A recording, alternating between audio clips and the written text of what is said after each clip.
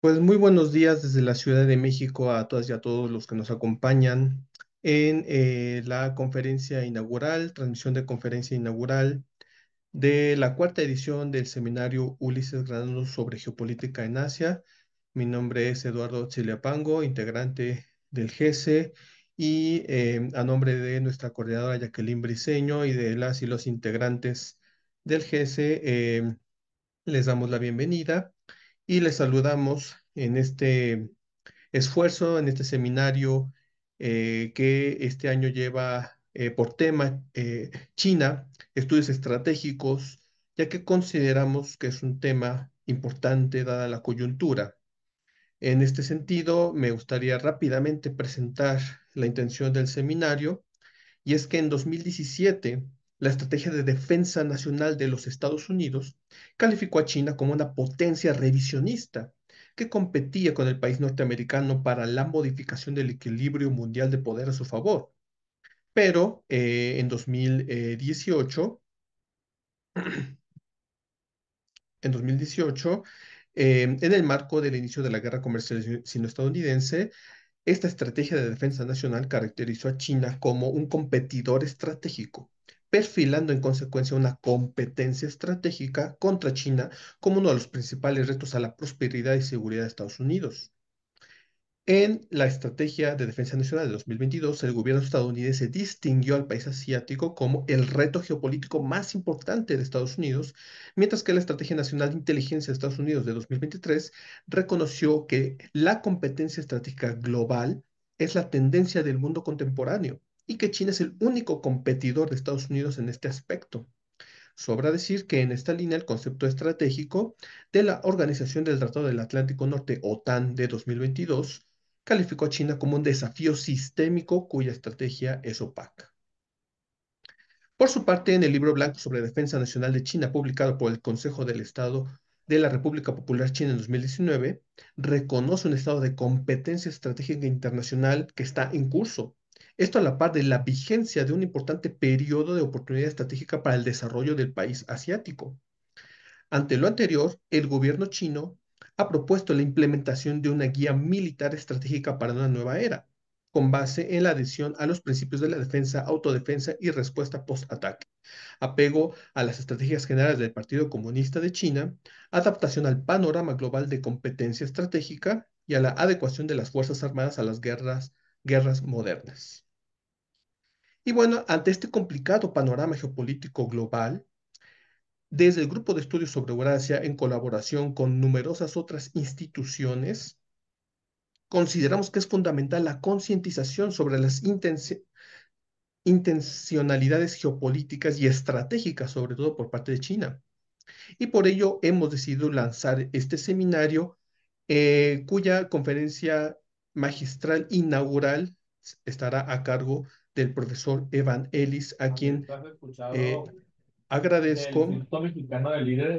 y a, quien voy a presentar a continuación. El doctor Evan Ellis es profesor de investigación de estudios de América Latina y el Caribe para el Instituto de Estudios Estratégicos del Colegio de Guerra del Ejército de los Estados Unidos.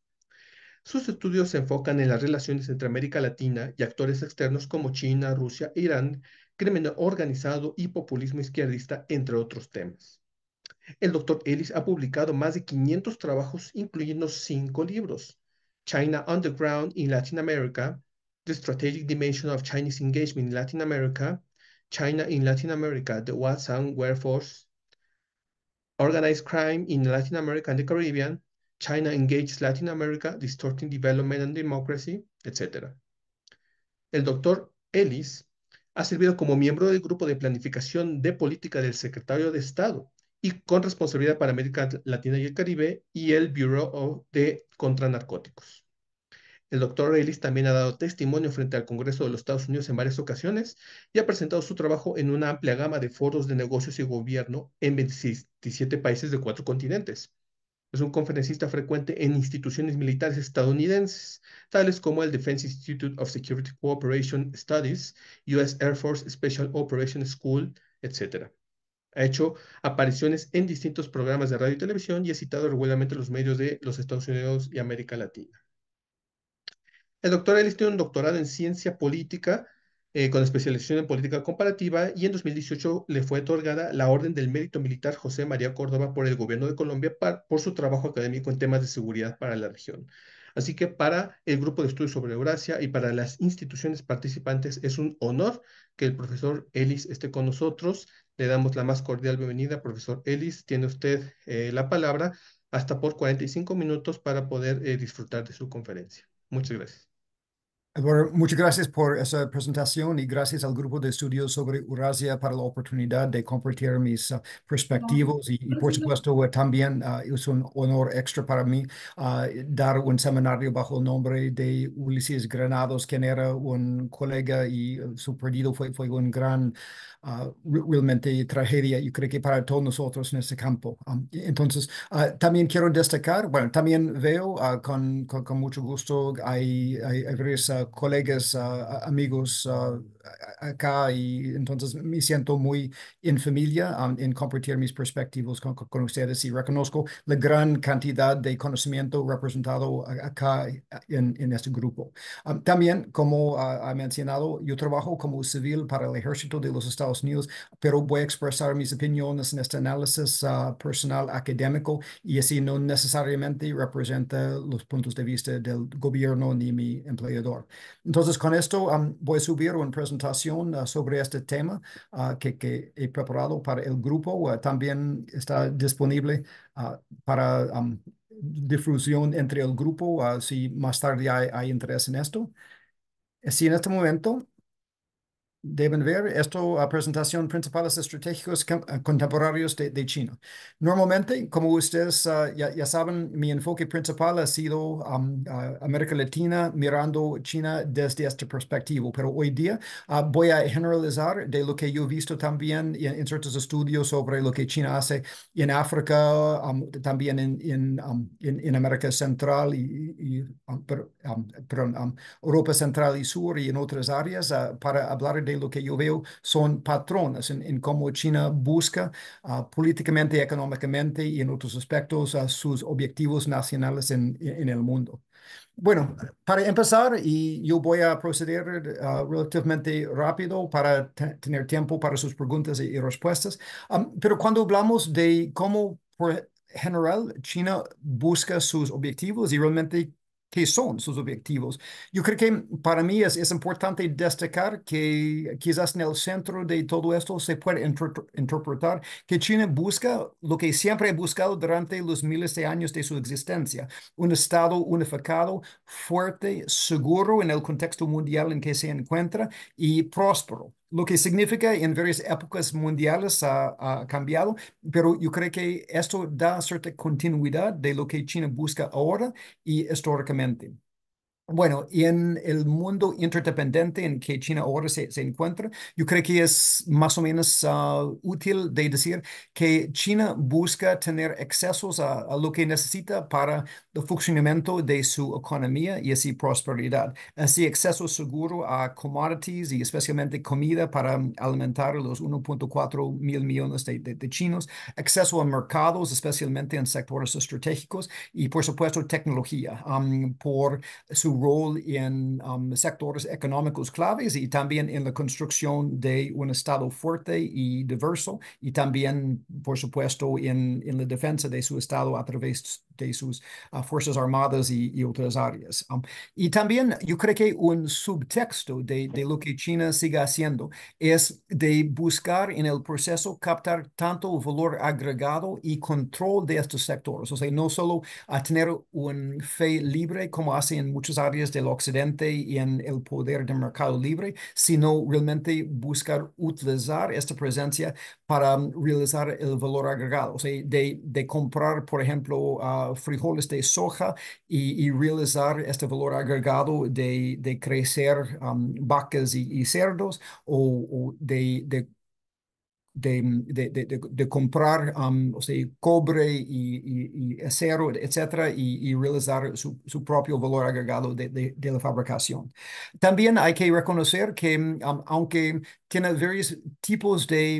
entidades comerciales, algunas uh, más independientes que otras, pero por lo general uh, se nota que mundialmente uh, China busca privilegiar sus empresas estatales y especialmente sus empresas estatales nacionales como los primeros instrumentos de su política que, que acaba de mencionar um, y en cierta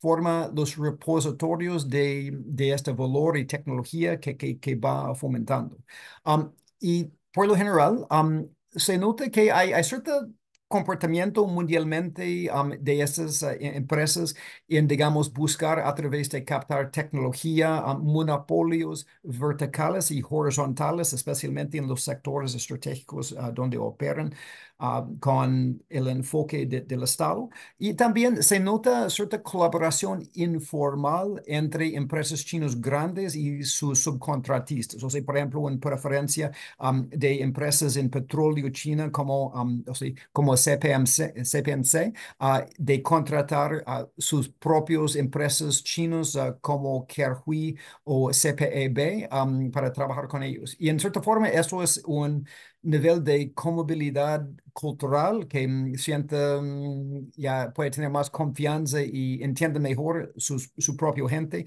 versus contratar los servicios de, de, de, pero el resultado que, que, hemos visto es hay una tendencia donde China opera en un sector de, de buscar uh, ya, ya, también dando preferencias para su propia gente y así sigue aumentando el control en, en, este sector. Y bueno, por supuesto, um, especialmente en sectores privilegiados uh, como uh, sectores digitales, el tecnología, hasta el biotech, y también um, en, en, ciertos sectores de nueva energía, electricidad, la transmisión, um, generación de electricidad de forma renovable. Um, se nota que especialmente en, en, sectores privilegiados hay una fuerte ayuda por el Estado en China y también eh, por la coordinación de la embajada en, en ganar esos contratos claves en, en, esos sectores. O sea, esas son cosas básicas, yo creo que este grupo entiende muy bien. Y para mí es, es interesante ver que cuando operan en un país, como por ejemplo Colombia, etcétera, um, hay una tendencia de, de, nivel micro que yo he visto de, de buscar clusters, de llega una empresa china um, y los ingenieros y, y que llega después uh, busca ayudando una a otra de, de cómo operar en, en, este entorno um, político, económico de esta ciudad donde esas empresas chinas están operando. Entonces, hay cierto interesante nivel de ayudar una a otra um, con esta identidad china que um, se destaca como, como parte de su, su, su, estilo. Bueno, también se nota que um, hay un, un había gris en cuanto realmente todo esto de avance chino es planificado. O sea, podemos hablar de la pasión que China tiene para sus planes uh, quinquenniales um, y o sea, el liderazgo del Partido Comunista Chino y acabamos de, de tener el tercer pleno. Eh, entonces, podemos uh, ver destacado este proceso de planificación. Pero también um, ustedes ya en esta área entienden muy bien que, que también hay mucha adaptación. Por ejemplo, um, o sea, la empresa en telecomunicaciones Huawei y, ZTE no eran inicialmente lo mm, ya favorecido por el gobierno chino, pero el éxito de, de, Huawei ya ha, dado que mm, el gobierno chino reconoce um, esta importancia y empiezan a utilizar y trabajar con, con ellos como uno de sus, sus campeones. O, por ejemplo, um, cuando ah, a veces hay, hay ciertas oportunidades estratégicas, por ejemplo, el, el control por Hutchison de, de varios puertos de, de, América Latina, o por ejemplo, el nuevo puerto de, de Chancay con, con Costco. Um, cuando se presentan ciertas oportunidades en sectores estratégicos, especialmente uso dual, hay una manera de, de, reconocer por parte de los militares o otros ah, cómo podemos aprovechar esta oportunidad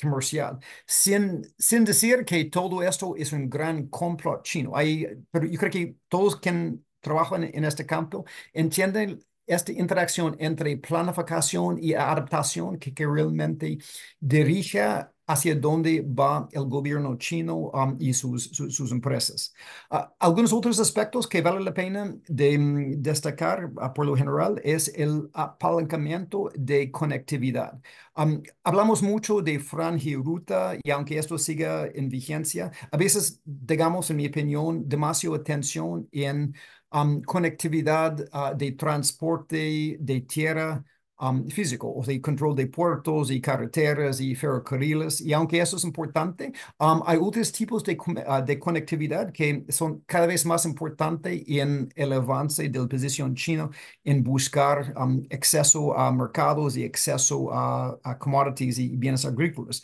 Uh, uno de esos es o sea, la conectividad eléctrica, acaba de mencionar. Otra es la conectividad uh, digital, um, no solo 5G, sino 4G y 3G, etcétera, etcétera. Conectividad financiero, etcétera, etcétera.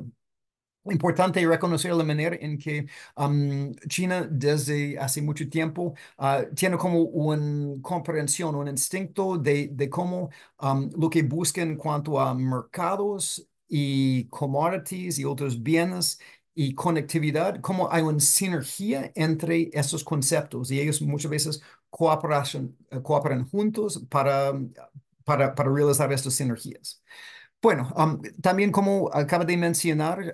cada vez con, más importancia y reflexionado en sus planes uh, uh, quinquenniales y, y, otros documentos, um, hay realmente un énfasis en ciertas tecnologías de uh, inteligencia artificiales y, Internet de cosas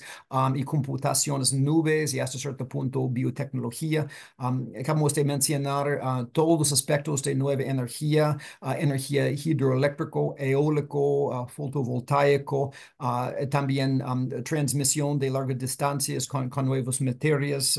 ah, y, por supuesto, vehículos eléctricos y, sectores que apoyan esto, por ejemplo, la, o sea, procesamiento, exceso de procesamiento de, de litio, pero otras sustancias también como, como neobium, como, como se encuentra en, en Brasil, una de las fuentes más, más importantes fuera de, de Xinjiang, ah, entre otras. Entonces, ah, lo que se nota es que aunque ahora hablamos más tarde, hay graves problemas económicos uh, en, China, um, pero se nota que, que esta búsqueda de avanzar y accesar mercados y realizar inversiones en, en estos sectores privilegiados de tecnología y energía nuevo sigue con, con, fuerza, aunque uh, cierta lentitud en, en otras áreas. Bueno, cuando hablamos ahora de mm, cómo China por lo general preside en la política internacional, ah, no solo en América Latina, sino en muchas áreas del, del mundo. Para mí, una de las características que, que yo he visto es que mm, es, es, casi siempre un esfuerzo todo dimensional de, de varios niveles. Por supuesto, hay actividades um, políticas de nivel bilateral en apoyo de sus objetivos económicos, pero también China trabaja mucho en el nivel subnacional, las provincias, los estados, con, con, los alcaldes, etcétera, y también de nivel multilateral.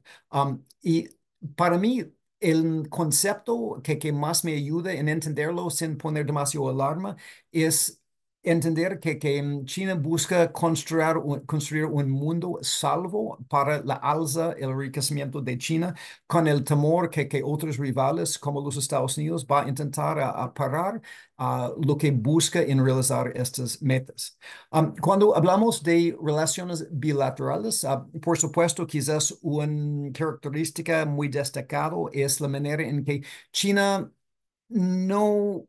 un poco diferente que los Estados Unidos o otros ah, países, no busca tanto imponer un modelo político o ciertas exigencias políticos. Bueno, realmente es muy flexible, como ustedes saben bien, um, pero se nota que hay ciertos esfuerzos muy importantes en utilizar su palanca económico y sus iniciativas políticos uh, para reprimir ciertos tipos de crítica de sus empresas, uh, de lo que hace contra los uh, musulmanes uigures en Xinjiang, su represión y, y quebra de sus compromisos en, Hong Kong, etcétera, etcétera.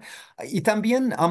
hay un esfuerzo por, China en su diplomacia de facilitar buena voluntad que, que les da más acceso a cooperación en sus actividades económicas y, y en otras áreas. Um, una herramienta que yo creo que vale la pena mencionar en muchas partes del mundo es uh, los sociedades estratégicos. Um, y bueno, ahora ya la Cancillería chino tiene varias categorías, o sea, sociedad estratégico, estratégico comprensivo. Ahora hay una nueva categoría inventado por Venezuela de, um, de uh, una sociedad estratégico uh, de como todo, todo clima. Um, pero en el fin, aunque um, los categorías no son tan concretos lo que significa o obliga. Um, muchas veces en, en, este nivel hay establecimiento de un comité uh, de coordinación que reúne periódicamente de nivel ministerial que utiliza para avanzar o destrabar ciertas dificultades um, con proyectos chinos y a veces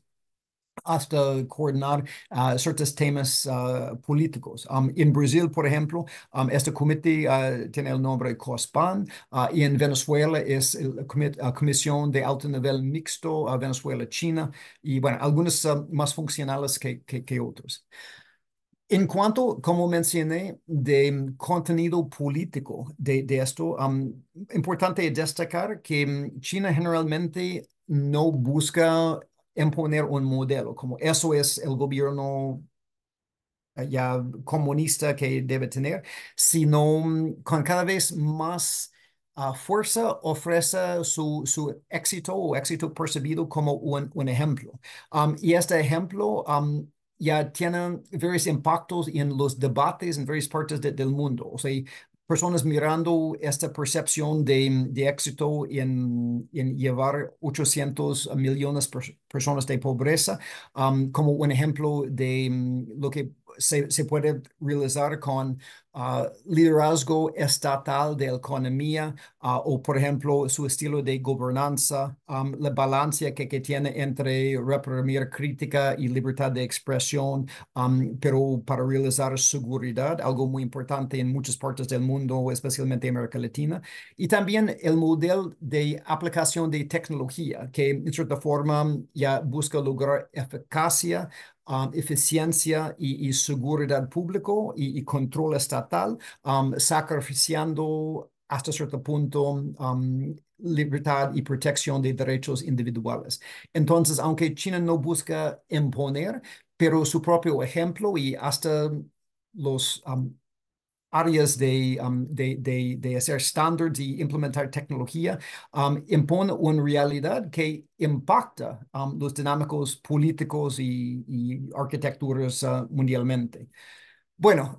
también hay, hay, que notar que sí, aunque China trabaja con regímenes conservadores, tanto como los liberales, uh, realmente China tiene un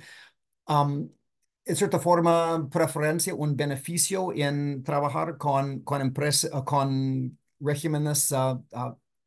uh, populistas como Venezuela o Nicaragua otras, aunque a veces son un dolor de cabeza para empresas chinas y yo he escuchado muchos cuentos por, por amigos chinos en cómo es trabajar en Venezuela para, para ellos. Um, pero por otro lado, um, la combinación de la amistad hacia China de estos tipos de regímenes, incluso uh, Putin, incluso Irán, etc. La necesidad, especialmente bajo sanciones, la institucional, institucionalidad débil de estos regímenes populistas cuando ponen a personas leales más que personas competentes en, en estas um, posiciones en que van evaluando contratos con China, etcétera, etcétera. Todas estas dimensiones logra que, que, que China a veces tiene arreglos muy favorables a China en, en, en realizar interacciones con, con esos tipos de, de, de países, aunque como ustedes saben, en el fin trabajan con, con, todos. También importante destacar de nivel subnacional. Um, para mí, un, uso importante de esto es para complementar o a veces circunnavegar dificultades en relaciones políticas de nivel nacional. Um, grandes ejemplos son, por ejemplo, uh, Jair Bolsonaro en, en antes en, en Brasil, uh, donde había problemas uh, en este nivel nacional con los críticos por Bolsonaro.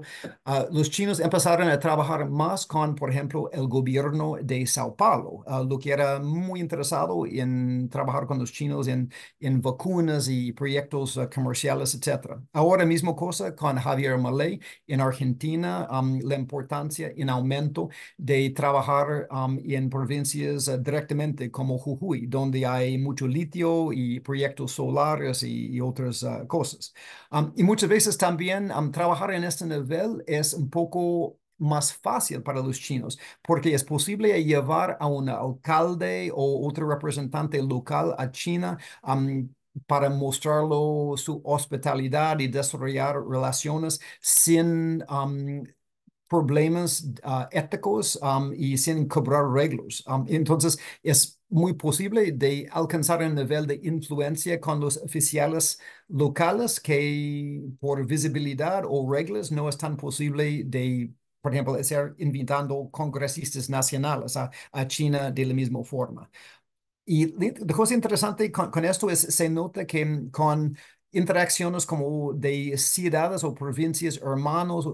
los chinos están cada vez más activos en buscar este tipo de interacción. Y bueno, ah, por supuesto, también en cuanto a instituciones multilaterales, se nota que en casi todas las instituciones donde se pueda, los chinos buscan algo de representación. En América Latina, por ejemplo, ha tenido una presencia en la OEA desde 2004, uh, tiene una presencia en este Banco de Desarrollo del Caribe ah, y en el BID desde 2009, etcétera, etcétera. Pero por general, los chinos tienen una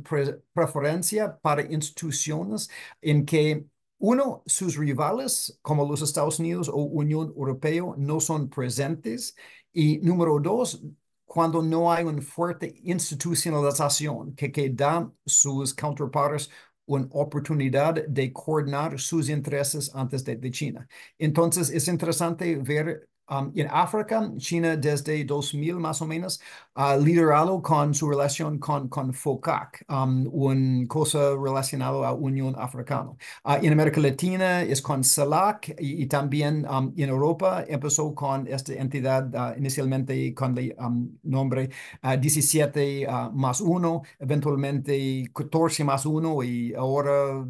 ya quizás casi no existe, pero interesante ver este patrón en todas esas regiones. Bueno, y por supuesto, cuando hablamos de objetivos políticos, aunque mucho de lo que China busca es económico y en apoyo de sus objetivos económicos, hay que reconocer que, que también de buscar aislar y quitar la autonomía de Taiwán, especialmente ya cambia relaciones de los 12 ah, países en el mundo que, que todavía reconocen diplomáticamente Taiwán, es, es cada vez más un objetivo estratégico importante para China y algo que probablemente uh, Xi Jinping quiera resolver este tema de la autonomía de Taiwán antes de, del fin de su tercer periodo en, en, gestión uh, en 2027, uh, como uno de los grandes logros de, lo que busca hacer. Bueno, yo creo que otra cosa importante reconocer es la manera en que um, el estilo internacional de, de, China ya está cambiando en ciertos aspectos con más énfasis estratégico. Um, yo menciono, por ejemplo, um, que en el tercer pleno del Partido Comunista se notaba que, aunque seguía hablando de la economía, etcétera, casi todas sus otras plataformas tenía un lazo con temas de, de seguridad, o sea, la securitización de la política en casi todas las dimensiones, como un aspecto de mm, esta gestión de, de Xi Jinping en su tercer uh, periodo. También se nota que mm, en, en Indo-Pacífico es cada vez más asertivo en, por ejemplo, en, sus interacciones uh, contra el, el, los filipinos por sus reclamos en el Mar Chino Sur, uh, también um, o sea, contra Taiwán y con cada vez más ya ejercicios y, muestras de, mm, um, de, de, su determinación de de, de intimidar Taiwán. También, aunque este proyecto económico franja y ruta con muchos um, problemas uh, económicos ya, ya sigue en vigencia, celebró el año pasado um, su uh, décimo año de existencia, uh, pero se nota que ahora esto está siendo de de-emphasizado y ahora China habla cada vez más de su iniciativa de desarrollo global, buscando unificar en un tema común de los países en desarrollo en una manera que, que los aleja cada uno de, mm, um, de los Estados Unidos y países industrializados para, para, ser como causa común entre los países en desarrollo, en que China quiere ponerse en esta categoría, aunque China en muchas ocasiones también quiere alejarse de esta categoría. Bueno, es un iniciativa de seguridad global. Hay, hay que reconocer que mm, eso es interesante, que muestra que mm, en su papel blanco sobre el tema,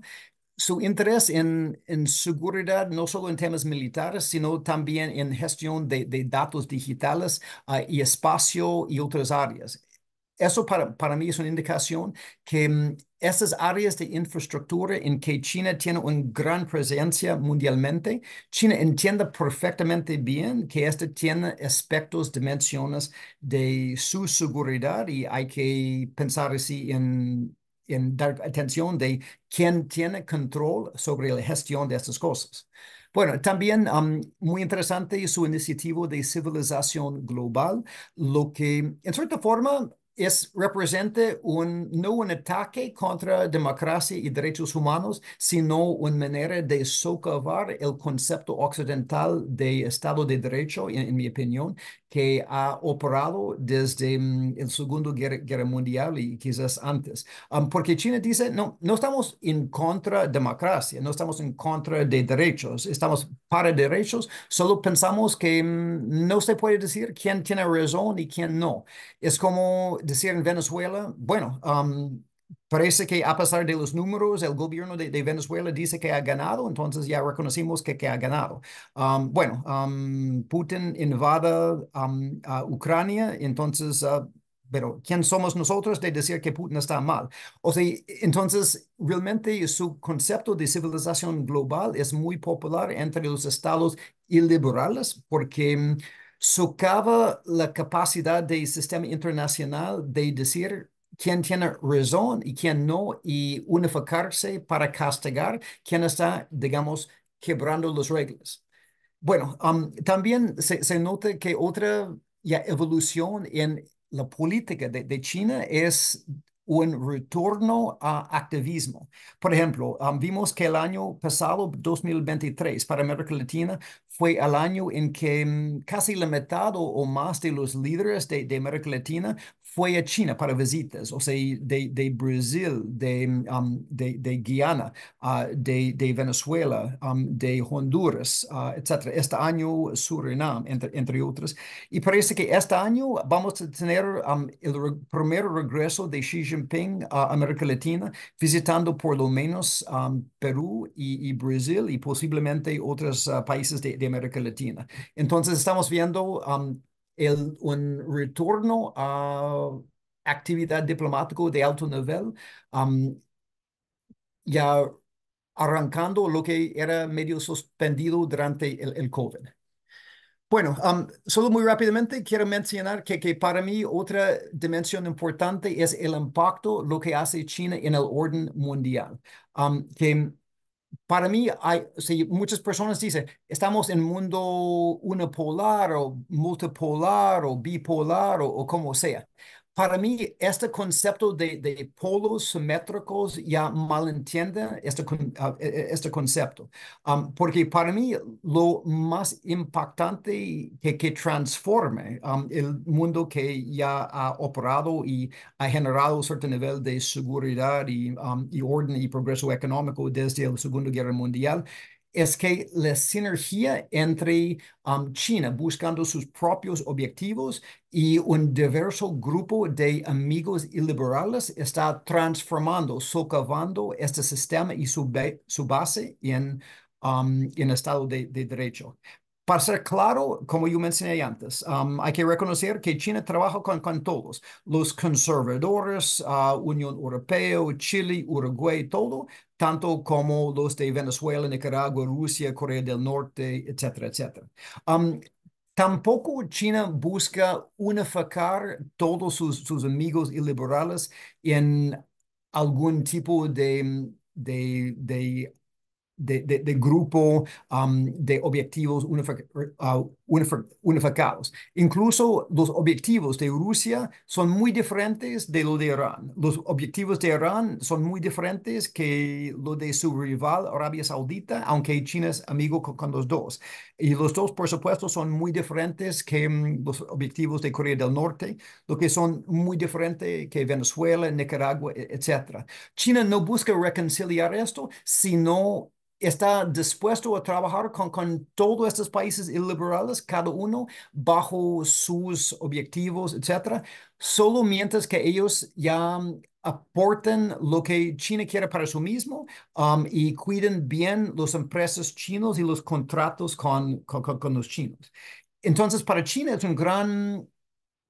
es, es, un gran beneficio porque, como mencioné antes, estos países iliberales muchas veces tienen mucha necesidad para escapar sanciones. China puede sacar muy, muy buen términos en comprar en gran descuento el petróleo y comida de Rusia o también um, de tener acceso al petróleo y proyectos petroleros uh, con, con, con, Irán. O, por ejemplo, um, en, en, su manera uh, con, con KTEC y, y otras de circunnavegar uh, ya ya sanciones contra este régimen de Maduro en, en Venezuela, eh, etcétera, etcétera. Entonces, um, China saca buenos términos, está, mientras que um, el mundo occidental, por ejemplo, está gastando mucho, mucho plata en, um, por ejemplo, defender Ucrania y responder a defender Israel, etcétera. China está ganando cantidades de plata beneficiando de este mismo conflicto, mientras que también esos conflictos va distrayendo um, el occidente. Entonces, para, China es, como un ganar-ganar,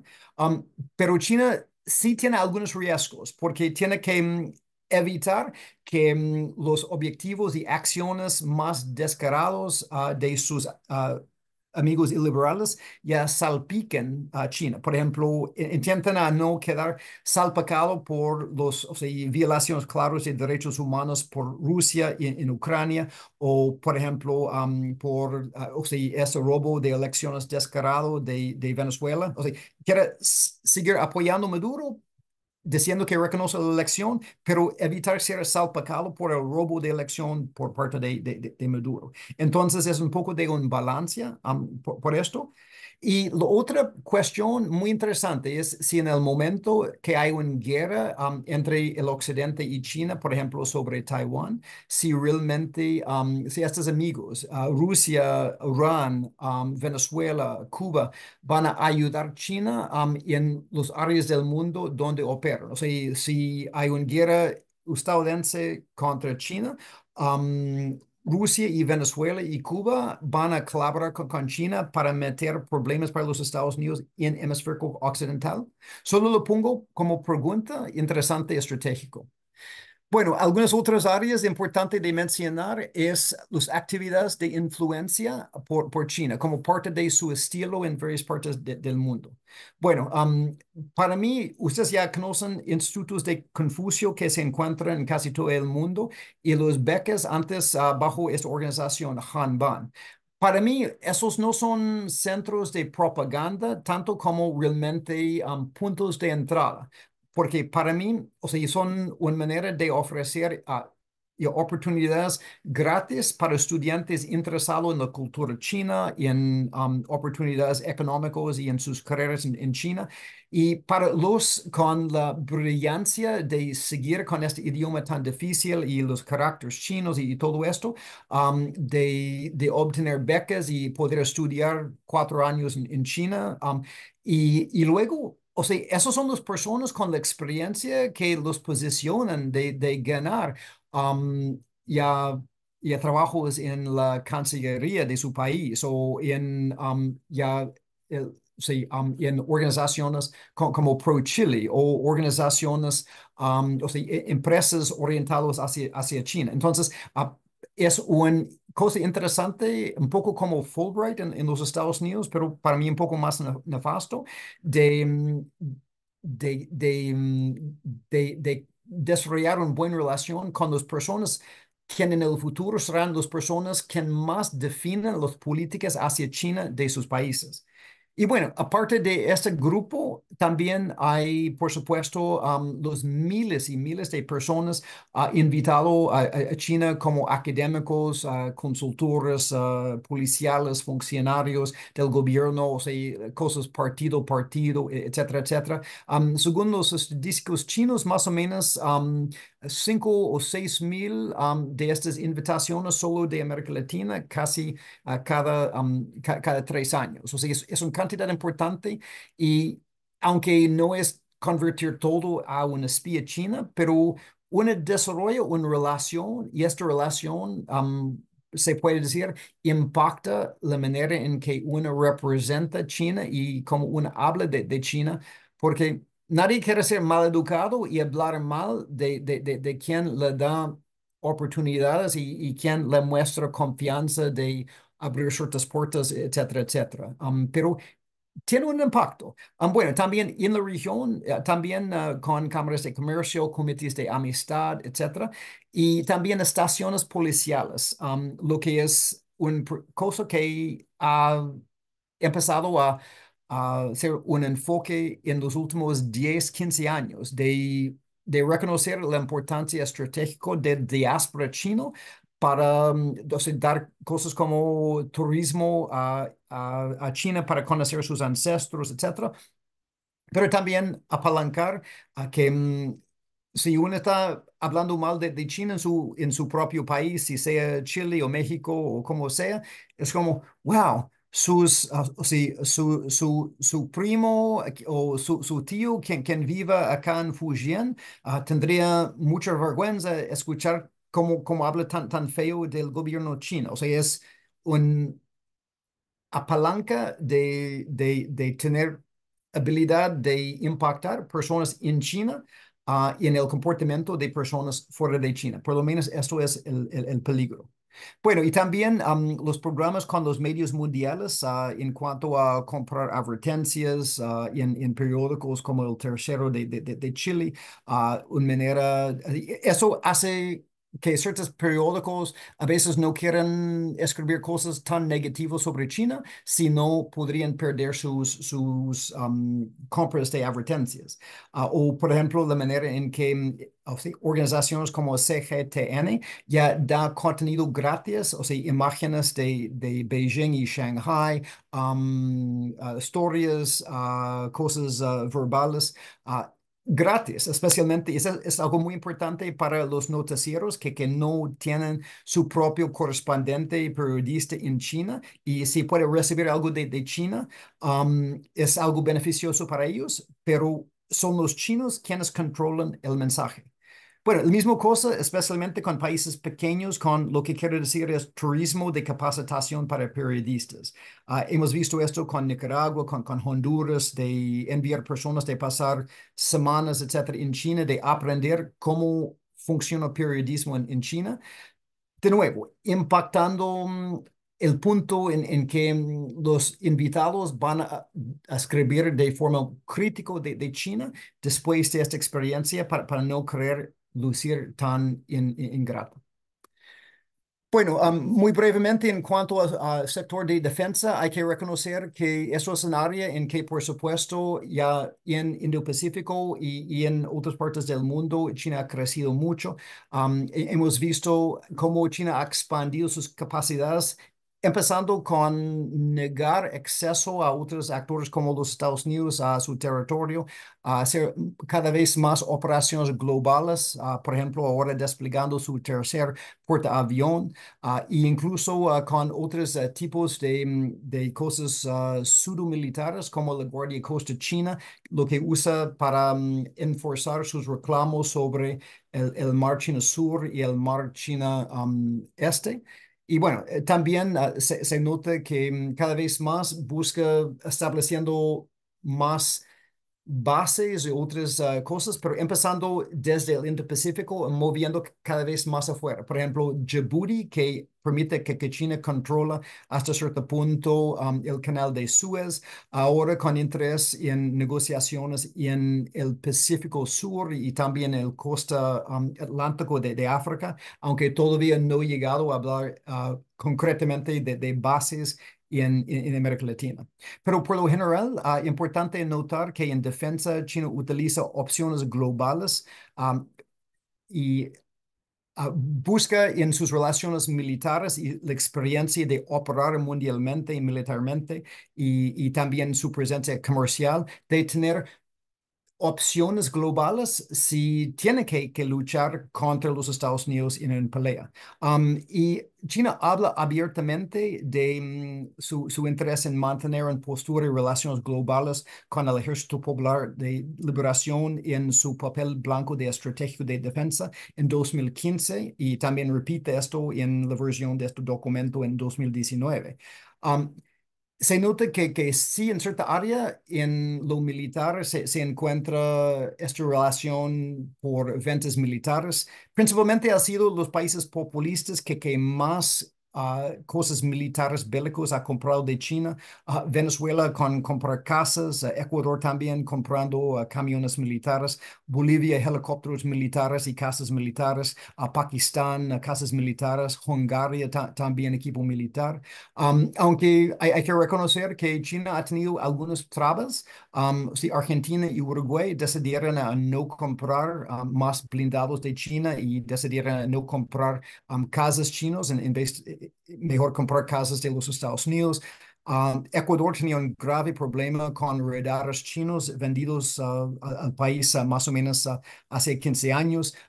resultaba en una acción legal muy largo. Perú tenía algunos problemas con camiones y su calidad y también amuniciones, que lo que obligó a Perú um, a devolver esta amunición que puso en, en, peligro la, la vida de sus soldados. Pero bueno, entonces sí problemas, um, pero sigue avanzando en, esta área. Um, también hay que destacar regalos militares, uh, especialmente regalos a policía, policías um, en Trinidad y Tobago, en República Dominicana, en varias partes del mundo, a veces como motocicletas, uh, computadores, uh, patrulleros, cosas que realmente los policías necesitan, pero le da una relación China con, con esas fuerzas públicas. También capacitación. Inicialmente capacitación para los militares en China, pero ahora están empezando con cada vez más capacitación para policiales uh, y en, China también. Y bueno, ciertas uh, operaciones de presencia, principalmente las operaciones de peacekeeping, China realizó en África, especialmente en el sur de Sudán, aunque mm, desde 2004 a 2012 uh, realizó una operación bajo el comando de Brasil en en, en Haití. Y bueno, también se nota que mm, otras cosas que han llamado la atención de mm, Comando Sur en los Estados Unidos es la operación por operadores comerciales de, China de puertos uh, que podría tener como un uso dual Uh, en tiempos de guerra. Um, por supuesto, el puerto de Chancay ya llama la atención en, en, Perú sobre, sobre, este tema. Um, estación espacial uh, Lajano en, en, Argentina, en Neuquén, uh, pero también los puertos operados por Hutchison en los Bahamas y Panamá y, um, y, también México, o hasta en Europa, el, el puerto de Pareas en, en Grecia también llamó mucho la atención,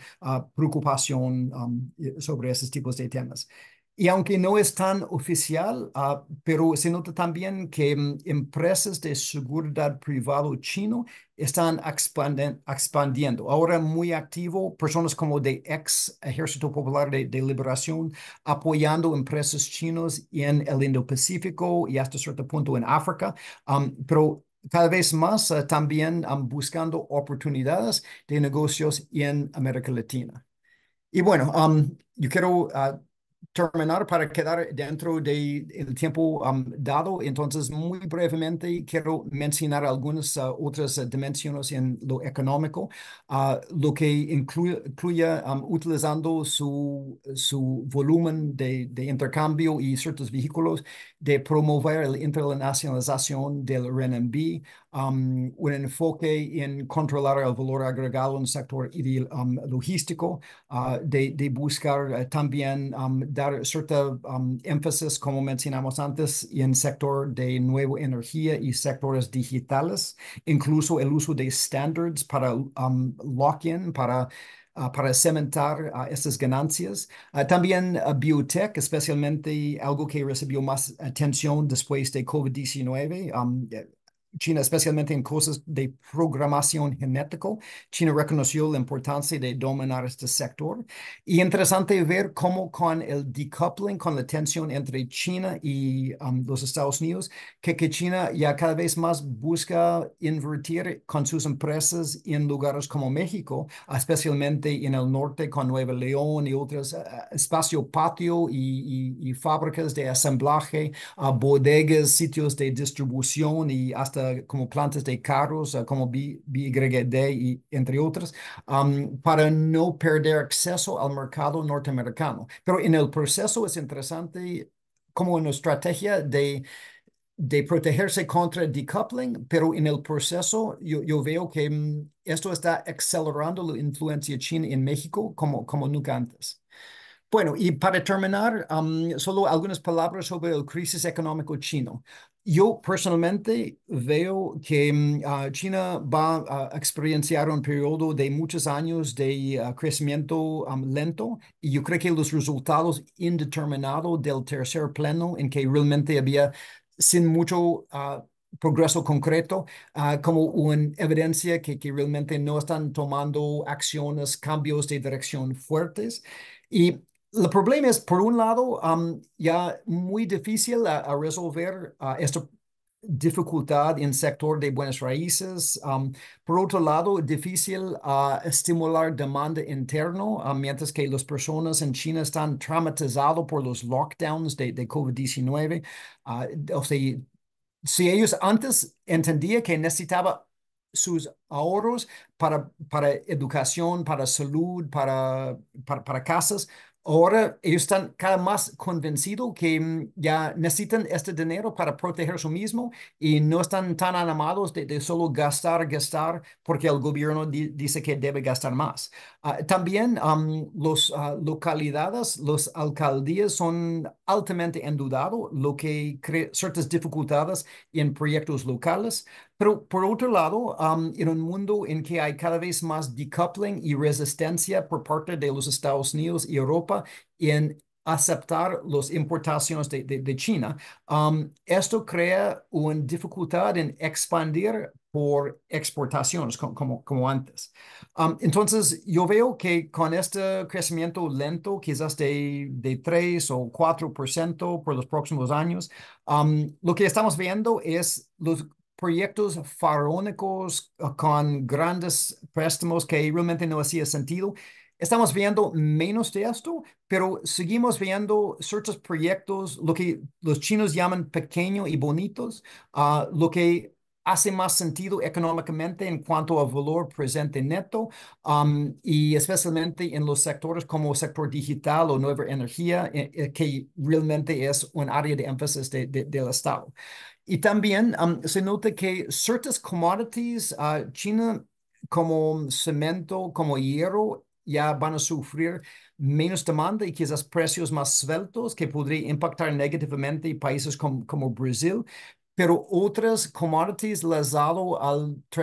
transición de energía nuevo como cobre o por supuesto litio, um, yo creo que la demanda para esas commodities sigue fuerte. Entonces, lo que yo veo es impactos, pero un panorama de, de, impactos positivos y negativos que da todavía espacio para los que quieran tener interacciones con, con China, tiempo para um, y oportunidades pa, para navegar con, con, éxito, pero siempre con los mismos peligros que ha sido asociado con realizar negocios con el Estado chino y, y sus empresas. Con esto termino mis uh, comentarios y recibo con mucho interés uh, su retroalimentación y, y, sus preguntas. Muchas gracias por esta oportunidad y espero con, con gusto sus, uh, su retroalimentación. Muchas gracias, eh, profesor Ellis, por esta muy ilustrativa conferencia, muy interesante, sobre numerosos temas que justamente, eh, bueno, varios de ellos vamos a estar tratando a lo largo de este seminario. Entonces, este, bueno, yo agradezco y yo invito a quienes nos están observando en em, el este, la transmisión en vivo de, de, de la conferencia a que eh, pongan sus preguntas para poder eh, hacerlas comunicar al profesor Ellis. Y antes de pasar justamente a la sesión de, de, preguntas y respuestas, pues me gustaría saludar a las y los colegas eh, que participan en el seminario, particularmente a quienes forman parte de las instituciones que están impulsando este esfuerzo de China Estudios Estratégicos. Tenemos aquí, por ejemplo, a la doctora Raquel León de la Rosa, directora del Observatorio de Política China, a quien agradezco su presencia. También tenemos eh, a el profesor Jonathan Massa de Straptor Risk Consulting, una de las este, instituciones que nos está apoyando en ese sentido. Y también este, está el licenciado Francisco Leopoldo eh, Tenorio, del Instituto Mexicano de Estudios Estratégicos en Seguridad y Defensa Nacionales, a quien también agradecemos obviamente su, su presencia. Este, además de muchas eh, otras y otros colegas de diversas instituciones, repito, este seminario está siendo impulsado por el esfuerzo y el interés de alrededor de 50 colegas eh, que me parece demuestra no solamente el interés, sino la necesidad de estar conscientes de todos estos aspectos estratégicos, muchos de los cuales el profesor Ellis ya eh, nos, ilustró. Entonces, eh, bueno, para empezar, me gustaría eh, compartir una pregunta que ya nos hicieron llegar por parte del Facebook Live, la, la comparto aquí en el chat, por parte del maestro Eduardo Palacios, integrante del grupo de estudios sobre Eurasia, quien pregunta, profesor Ellis, desde Estados Unidos se menciona una guerra comercial con China. Del lado chino, también lo perciben así. Es decir, ¿usted considera que China está en una guerra comercial con Estados Unidos que debe ganar? Esa es una pregunta este, que nos pregunta, este, bueno, que nos comparte Eduardo Palacios. Y bueno, me gustaría entonces eh, abrir el espacio para reunir unas otras dos preguntas, si usted está de acuerdo, profesor Ellis, de nuestras colegas, de nuestros colegas. Eh, les pediría a los colegas que levanten la mano para cederles la palabra y así pueda yo, este, eh, bueno, brindarles la, la voz. Adelante, eh, eh el espacio está abierto. Muchas gracias. Um, so yo creo que es, es, un buen punto. Yo creo que hay una cierta asimetría, simetría um, en cómo los Estados Unidos y cómo China ve las cosas. Um, mi percepción, si, si una va a los pronunciamientos uh, uh, de líderes mucho antes de Xi Jinping, es uh, reconocer que, que China tenía un una apertura de, de, varios años cuando empezó a llegar muy poderoso, pero antes de, de, que esto podría estimular mucha oposición por la comunidad mundial. Entonces, yo creo que aunque no todos han sido de acuerdo con esto en China, pero yo creo que desde el principio hay entre varios en China, o sea, desde los del Ejército Popular de Liberación hasta lo en gobernanza y economía, el, es, esta idea que, um, que um, esta apertura que el mundo nos ha dado, ah, empezando con, bueno, en, en, los 80s, 90s, con la apertura del OMC, etcétera, no va a perdurar para siempre. Y por supuesto, quizás um, ah, la, ah, la, política de seguridad del presidente Trump y las varias sanciones que él llevó contra China, y, y, al ver que mm, a pesar de la elección de este demócrata Joe Biden, que había una continuidad de, de esta política, yo creo que esto ha cementado en los mentes de los chinos e-, esta idea que, mm, um, que ellos sí están obligados a, tener su, su propia industria de autonomía ah, de producción de, chips. Ah, no pueden depender siempre en tener acceso a la tecnología del occidente, etcétera. Entonces hay, que preparar para su mismo. Igual esta percepción en China de Um, de, de, de, tener que buscar, por ejemplo, inversión en México como, como nearshoring para protegerse contra lo que es, es por venir. Y bueno, por supuesto, siempre ha sido um, un esfuerzo en, China, digamos, de aprovechar este e, e, exceso y, buscar ganar tanto uh, valor agregado y posición del mercado para su mismo, si es en, en en paneles fotovoltaicos en 2010 o ciertas otras industrias claves o por supuesto um, Internet. Entonces, um,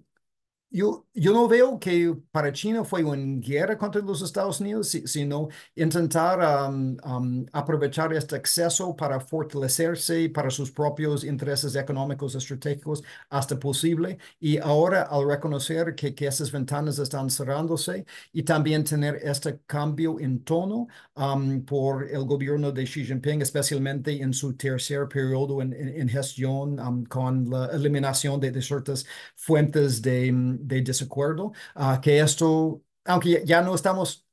tanto en el estilo de, mm, de diplomacia de, de Guerrero Lobo, digamos, uh, ellos han ya retrocedido de, de, eso un poco, pero yo creo que hay, hay este estilo que complementa su, la posición en que se encuentra en que hay una actitud de hay, hay, que preparar y fortalecerse para esta oposición. Y esto incluso un proceso de desintermediación lento um, de, de, sus, uh, de, de su posición en bonos de tesoro de los Estados Unidos. Uh, esto incluye uh, su intención de internacionalizar el RMB. Esto yo creo que ya también ya está reflexionado en, en otros uh, aspectos. Yo creo que ahora también, mientras que, que vean, uh, por ejemplo, um, quieren aprovechar su posición de dominancia en vehículos eléctricos, uh, especialmente por BYD, entre otras, de, de avanzar en mercados en México y, y en, en Europa pero yo creo que hay un entendimiento que ya vienen las sanciones, entonces hay, hay que preparar para, um, para hacerlo y, trabajar con terceros mercados, si sea en América Latina o África como alternativo. O sea, para mí, por ejemplo, es muy interesante la manera en ver cómo China ha acelerado su gira hacia Brasil uh, en, en cuanto a la compra de su soja y otros productos agrícolas. Uh, y ya distanciándose de, de sus compras de, de, los Estados Unidos, en cierta forma reconociendo que mm,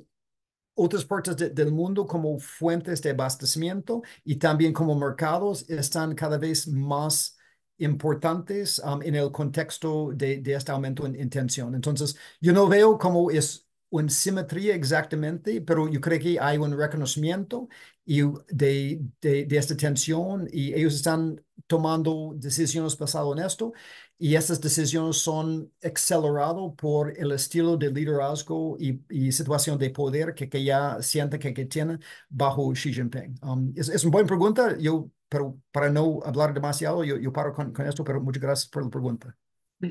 Muchas gracias, eh, profesor Ellis, por, por, la pregunta. Ya tenemos este, varias manos levantadas eh, y le cedería eh, la palabra a la doctora María Blancas, por favor. Hola, ¿qué tal? Muy buenos días. Muchísimas gracias por la, la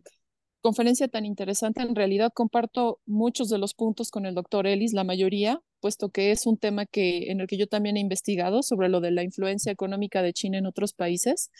Sin embargo, me gustaría preguntarle al doctor Ellis si cree que los casos, por ejemplo, de Corea del Sur y de Japón, que son los vecinos de China y de sus principales socios comerciales, podrían servir como una guía para nosotros en el sentido de que la inversión y el comercio y los beneficios es algo que no viene gratis. ¿A qué me refiero con esto? Que en cuanto ambos países han tomado una decisión que es contraria a los intereses de Beijing, Beijing ha tomado el papel de sancionarlos de alguna manera. Por ejemplo, el caso de Corea del Sur con el TAD, cuando decidieron emplazarlo para protegerse de Corea del Norte, y el caso de, de la disputa territorial entre China y Japón en torno a las islas de Senkaku y Ayutthaya. ¿Qué opinión le merece, le merece esto al doctor Ellis? Bueno, muchas gracias por la pregunta y sí, de acuerdo. Y sí, quizás uh, también yo empezaría con el caso de, de Australia. Como usted sabe, y, que quizás um, Australia en los últimos 5 o 10 años uh, ha cambiado ya 180 grados su, su orientación hacia China en, en percibir hacia estas hacia intervenciones en su sistema político, las relaciones chinas tenía con sus políticos y relaciones económicas. Sí, uh, también um, cuando ellos ya atravesaron a, a a, preguntar los orígenes de coronavirus uh, en, um, en, en, Wuhan y, y, China sancionó muy fuerte Australia, etcétera, etcétera. Y entonces cuando vemos uh, la posición de, de, Australia de, por ejemplo, conjuntarse hace unos años con, con AUKUS um, en este programa de submarinos, etcétera, o sea, vemos Uh, que países que inicialmente quería aprovechar de esta oportunidad económica pero mientras que el estilo y la amenaza de, China se puso cada vez más fuerte, ha, obligado a cambiar su orientación. Bueno, en, en, cuanto a Japón, por supuesto, o sea, la enemistad y rivalidad histórico entre los dos, um, pero también podemos reconocer que había muchas empresas chino, uh, japonesas con la esperanza de, de superar esta legacía histórico y, y, y realizar algo, um, pero por ejemplo, uh, Usted mencionó eso de uh, Mar China Oriental, uh, pero también um, esta suspensión del exceso por productores uh, automotrices chinos. Yo creo que fue litio o otro metal en, quiero decir, 2012, 2010, 2012. Yo creo que también esto fue una llamada fuerte y especialmente con, con este gobierno de Japón de, de ahora, um, su, su, decisión de duplicar sus gastos en, en defensa y, y, y, y reformar su orientación um, constitucional de permitir un, como un, um, un, digamos, un defensa más ofensivo uh, eh, defensa más activo. Uh, yo creo que eso es una reflexión de, de, esta postura ya. Y bueno, por supuesto, en cuanto a, a Corea, um, yo estuve allá en Seúl uh, hace uh, más o menos um, un año y medio con el nuevo gobierno de, de, presidente Yoon y obviamente era un cambio fuerte en la política, um, pero también yo creo que este cambio en la política reflexionó entre los coreanos un sentir que mm, no solo la amenaza por Corea del, Norte y la política del gobierno anterior no ha tenido éxito en, en, en evitar peleas, sí, sino uh, también esta, esta posición más largo de, de, China que Corea no podría solo ignorar y intentar uh, a, mantener amistad, sino tenía que, tomar una posición y cooperar más con, con, bueno, no solo con los Estados Unidos, sino con, con Japón, su, su rival histórico, etc. Uh, o sea, todo basado en la respuesta a, China. Bueno, por supuesto, lo que vemos ahora en los filipinos, con el, bueno, otro cambio político de cementar este cambio de orientación por el gobierno de, um, de, de, de, Marcos. Um, pero lo que estamos con, con el, el show uh, Thomas, yo creo que es una reflexión de, de, cómo esta expansión china de poder y despliegue de guardia costa china. Y, y para mí es, es algo interesante porque um, en América Latina todavía vemos a la cara china medio suave, diferencial, que, que solo su comportamiento económico, de amenazar, de, cortar importaciones, etc. Yo creo que en Asia lo, veo más explícitamente militar en cuanto a ignorar un clause, en cuanto a um, desplegar um, esta milicia marítimo y, y guardia costa. E, e, entonces, um, y bueno, hasta que, también se, se, ve de forma más extremo um, su diplomacia personal y económico, por ejemplo, um, en, en Camboya, en, en especialmente en, Vietnam, de buscar quizás comprometer y corrompir, y bueno, también esta situación complejo en, en Burma, o sea, con apoyar el gobierno, pero también mantener un lazo a, a los rebeldes. Entonces, yo creo que todo el Indo-Pacífico está ya empezó con las ganas de, de, realizar negocios, pero poco a poco está ya siendo empujado a tomar una posición un poco más, um,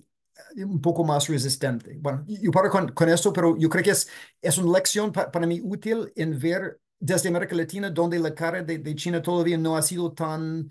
tan fuerte, tan bruto, pero de ver lo que está pasando en Indo-Pacífico es una ilustración de, de, qué pasa y los dilemas mientras que China se, se pone como más fuerte uh, mundialmente, en, en, mi opinión. Muchas gracias por la pregunta. Muchas gracias, profesor Ellis, y gracias a, a, a, María Blancas. Le daré ahora la palabra a la doctora Raquel León de la Rosa. Adelante, por favor. Muchas gracias, Eduardo. Eh, Evan, muchísimas gracias por la presentación. Siempre es un gusto escucharte, además de, de, leerte, y un tanto aprovechando esta exposición que haces y haciendo un tanto eco a la situación en México, me gustaría que si se pudiera hacer algún tipo de comentario con respecto a esta triangulación entre México, Estados Unidos y China sobre todo en esta transición eh, política que, que, está viviendo Estados Unidos, de alguna manera ya con los resultados de elecciones en México, pero que eh, en ese sentido, pues bueno, hay temas en común, ¿no? Como el caso del fentanilo, pero también toda esta cuestión de la adaptabilidad económica a partir del decoupling and the risking y, y obviamente el fenómeno del nearshoring en el país. Muchísimas gracias, Evan. Un abrazo. Gracias, También un gran gusto verte acá y, y, y, y tener su, su presencia. Y, bueno, gracias por, por la pregunta. Para mí, um, yo creo que es, es un cosa complicado y irónico. Justo estuve conversando con, con otra colega sobre esto así, hoy, hoy por la mañana y um, por un lado, sí, la relación México de los con los Estados Unidos es con una combinación de cosas positivas de la proximidad geográfica y lazos familiares y, interacción económica por el um, NAFTA y luego TMEC, etcétera, etcétera, pero también, uh, o sea, los ruborizos uh, históricos, uh, o sea, desde Pershing hasta Veracruz, hasta cuando una busca explicar, o sea, esta pintura en el castillo de Chapultepec de los niños héroes, eh, o sea, todo esto. Ah, um, pero de misma forma, yo creo que hay una complejidad histórica de oportunidad y, y, competencia entre China y, y, México, que quizás es más fuerte y, que um, casi cualquier país en, en América Latina. Por un lado, o sea, hay, hay una percepción en, en muchas partes de México de, de competencia estructural. Uh, o sea, México ha dado uh, al mercado de los Estados Unidos por razones de geografía y, por supuesto, estructuras de, de intercambio, etcétera. Um, entonces, uh, los productos chinos han sido percibidos más como competidores uh, y, en México mismo y en terceros mercados como los Estados Unidos. Y, o sea, queremos recordar o sea, uh, estas discusiones sobre proyectos como, como Dragon Mart y, bueno, mi, um, o sea, esta frase medio grosero, que, pero para mí ilustra la complejidad de la actitud a, los pinches chinos. Entonces, o sea, hasta reconocer la compleja historia de, um, o sea, de los inmigrantes mexicanos chinos acerca de Mexicali durante los tiempos de, de, la revolución y hasta la manera en que el mismo AMLO iba a hablar a veces uh, de, de, de, los chinos, aunque también interesado en, en negocios con con, ellos. Um, pero en el contexto de esta complejidad, yo, yo veo con mucho interés y, bueno, realmente yo tengo mucho respeto para las posibilidades y habilidades del presidente electo Claudia Sheinbaum. Y, y para mí, la gran dos cosas. Número uno, la manera en que um, su propia competencia y, y, y, y, las diferencias entre su orientación y lo de AMLO um, posiblemente podría acelerar las áreas donde China más está avanzando y por otro lado la manera en que uh, las posibles interacciones entre personalidades uh, puede tener un impacto fuerte en, las cosas. ¿Qué quiere decir con, todo esto? Um, Irónicamente, yo, yo, veo la orientación con mucho interés hasta un título en energía limpio um, de, de, de, de, de, presidente electo Scheinbaum uh, su interés en este sector, uh, pero también su, lo que por lo menos dijo en, la campaña que iba a promover aún más con subsidios, con infraestructura pública, electricidad, caminos, etcétera, más inversión extranjero de, en, en nearshoring en lugares como Nueva León, etcétera. Uh, y bueno, como usted sabe, esta área en que más China ha avanzado por decoupling ha sido en, en nearshoring, en, en, estas mismas áreas. Entonces, si por las políticas, pensando en el interés de México de acelerar esto, um, vamos a ver una aceleración de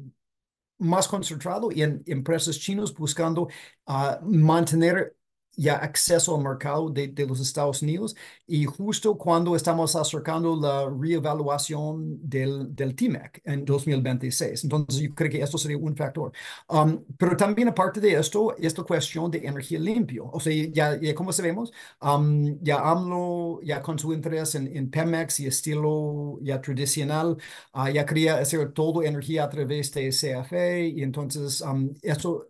resultó que China, con su gran compra de intereses en energía renovable por, por Zuma, uh, quedó un poco estancado. Pero entonces si Sheinbaum dice, ah, bueno, vamos a hacer cosas con, con con, um, con CFE, pero de PPP, como sociedad público-privado. Entonces, ¿quién está mejor posicionado a realizar esto? Es los chinos, um, quien ya tienen toda la tecnología en sectores eólicos o fotovoltaicos, sino los chinos. Um, Scheinbaum, yo entiendo, quiere mostrar su seguimiento de proyectos de infraestructura de, de AMLO, uh, especialmente Tren Maya, y o sea, ahora ya CCCC y, y también uh, Mut Engel, que tiene 30% interés por, por China, ya solo estamos en fase 1, entonces ya seguimos las fases, entonces esto aumenta el trabajo chino en, en, el país. Y por supuesto, el transísmico, lo que ahora no tiene mucho involucramiento uh, chino, pero, o sea, los puertos uh, cerca de Veracruz y el otro en Puerto Salina Cruz, y también todo este espacio patio que podría construirse en, en este aumento de, de infraestructura ferrocarril. O sea, eso es lógicamente algo que favorece empresas chinas como China Rail, que también ya tiene una relación personalmente con Claudia Scheinbaum por el primer línea del, del metro. Um, bueno, recordamos que el, o sea, este proyecto de, de Bacanora en la forma y perdón mi, mi manera de, de, hablar francamente, pero la manera medio torpe en que AMLO quería nacionalizar el sector de litio y resultó e, esta suspensión de, um, de, de, la, um, de, de, los derechos de, de Gang Feng y sus inversiones. Entonces, pero si Scheinbaum quiere negociar con BYD y otras para, para, tener plantas de carros eléctricos en China, los chinos tradicionalmente quieren tener acceso a su propia fuente de litio transformación. Entonces, es muy fácil para mí imaginar un negocio, negociación práctico en que en un momento u otro, quizás con términos diferentes, que Gangfeng quede en control de Bacanora. Bueno, una, una respuesta mucho larga, queremos extender, pero la ironía es, yo veo que por buena gestión, uh, de, de Scheinbaum um, y consistente con, con AMLO, pero diferente, yo podría ver una aceleración de presencia china en forma que incomoda mucho Washington. Y bueno, el último punto con, con esto es, para mí, por haber trabajado, um, bueno, no puedo decir que estoy con, con tanto orgullo en, en, todo esto, pero, um, pero sí tuve una buena experiencia trabajando con, con secretario Pompeo bajo la administración de, de Trump durante este, esta interacción con, con, México. Y lo que yo sospecho es las dinámicas interpersonales entre un Donald Trump, Claudia Scheinbaum, sería un poco más complicado que AMLO gestionando Donald Trump. Um, y por otro lado, si la interacción posible entre um, un Kamala Harris y un Claudia Scheinbaum, o sea, los dos primeras mujeres presidentes relativamente de la misma generación, um, aunque yo creo que hay, hay posibilidades para ruborizos para otras uh, razones de estilo y gestión burocrático, etcétera, etcétera. Um, pero yo creo que depende de lo que pasa en los Estados Unidos, um, vamos a tener un un impacto muy fuerte en personalidades, en, en cómo se gestiona esta relación um, con los Estados Unidos y esto va a tener un impacto muy fuerte en cómo se desarrolla la relación México-Chino. Perdón, eso fue un poco más extenso, quizás estaba buscando, pero muy buena pregunta y, y, y Raquel, le agradezco mucho y, y un gusto uh, verle acá. Muchas gracias eh, a Raquel y al profesor Evanelis por su respuesta. Este profesor Evan, tenemos eh, tres ya preguntas en el Facebook, en el chat del Facebook, que me voy a permitir este, leerlos antes de darle la palabra al colega Juan Manuel. Este, las he puesto aquí en el chat para su lectura. Eh, Megumi Terui, bueno, pues este, lo saluda. y pregunta si podría ampliar su opinión respecto a la situación de fentanilo, en particular a lo que respecta a las relaciones China-Estados Unidos-México. Silvia Torres em, menciona que agradecería sus comentarios acerca de si la estrategia de China es invertir en los países como México para evitar guerras comerciales. Y Diego Álvarez, otro este, colega participante del seminario, pregunta, en el contexto de las disputas territoriales en el Mar del Sur de China, Estados Unidos argumenta que China está militarizando algunas de las islas, pero China argumenta que es para proveer bienes públicos globales en la región, como construcción de aeropuertos, para búsqueda y rescate o faros. ¿Cómo, bajo su consideración, percibe los Estados Unidos esta narrativa de la provisión o la provisión, si es que podemos caracterizarla así? Entonces, agradeceríamos mucho sus impresiones en torno a estas tres preguntas y después este, continuaremos con las preguntas aquí. Muchas gracias. Bueno, en cuanto al fentanilo, yo creo que sí, eso es, por un lado quiero reconocer que mm, no es un problema tan fácil para los chinos controlar, o sea, porque o sea, los recetas de químicos precursores, hay miles de empresas de químicos, entonces, o sea, y también es, es fácil cambiar de forma muy leve los recetas, entonces no es como, ah, esos son los tres empresas, etcétera. Pero al decir esto, también tengo que, decir que, si los chinos no han sido tan cooperativos como, como creemos que, son. En cuanto a, por ejemplo, hasta la verificación de, mm, ah, mm, las direcciones de empresas en, Wuhan, o sea, es una dirección falso o no, podríamos tener una cooperación mucho más fluido. Um, yo creo que los chinos no quieren no cooperar, pero tampoco están tan apurados de ayudar nosotros, los Estados Unidos, en, en solucionar algo que nos está causando muchos problemas. Y bueno, también hay que reconocer la manera en que quizás no solo los Estados Unidos quedan muy perjudicados, sino um, que, que, también México, porque al reconocer que áreas como Sinaloa, la transformación de una economía ilícito de amapola a una economía ilícito de, de fábricas urbanos de, de, de, pastillas de, de fentanilo y, también todo ese cambio de ganancias, um, eso ha impactado la posición de, de Sinaloa um, en,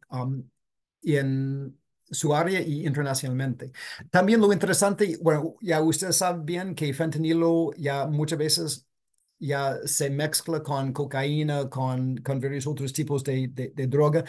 y, y, para aumentar la adicción. Um, y el problema con, con, eso también es no solo en los flujos hacia los Estados Unidos, sino con los de facilitación de, de Sinaloa y Jalisco Nueva Generación, uh, también en los flujos hacia el sur, uh, saliendo de, de, Perú, Bolivia, um, hacia Argentina, Europa y, también con la intermisión de, mm, de, carteles y grupos europeos como de Albania, de, Italia, uh, Nadrangheta, por, por, ejemplo. entonces, estamos empezando a ver también problema de adicción y sobredosis de fentanilo en Sao Paulo, en Río de Janeiro, hasta en partes de México si, si, yo entiendo bien. Um, entonces, um, no solo es un problema de, de China, Estados Unidos con México intermediario, sino está evolucionando a un problema hasta más, grande. Um, bueno,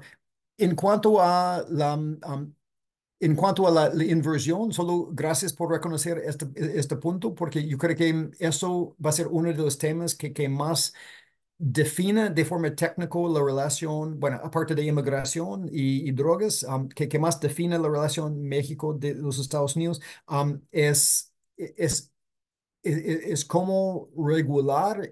y cómo renegociar o, cómo um, manejamos uh, esto de, de contenido local de la producción en México para el mercado en, los Estados Unidos en el marco de, de TEMEC. Y creo que vamos a tener muchos rigurizos por esto. Uh, bueno, cuánto y, y, cómo depende quizás en, en quién está gestionando o sea, eh, eh, nuestros los dos países uh, después de, de, de, enero 2025. Um, en cuanto a Mar China Sur y especialmente y la militarización, um,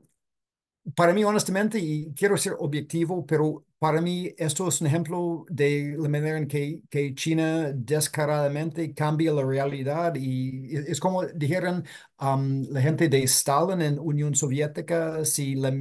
si la mentira es suficientemente grande, um, no suena como mentira. Um, y, y, lo que yo veo, pero, o sea, fue muy claro en esta, yo creo que fue en 2016, esta decisión de UNCLOS, que uh, China no tenía un reclamo legítimo histórico en, en esta área, en, pero China ignoró completamente UNCLOS y puso su propia realidad. Solo fingió como tenía derecho um, en su en su discurso y controlado por su prensa propio, empezó a, a fabricar esos tipos de discurso que, que si finge que, que, no hay otro discurso, entonces su discurso suena convincente. Y si empieza a, a desplegar fuerzas de